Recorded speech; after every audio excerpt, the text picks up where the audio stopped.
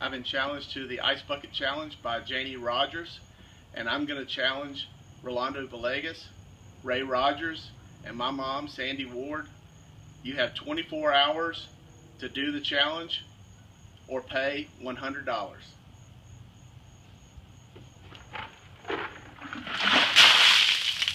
Whoa!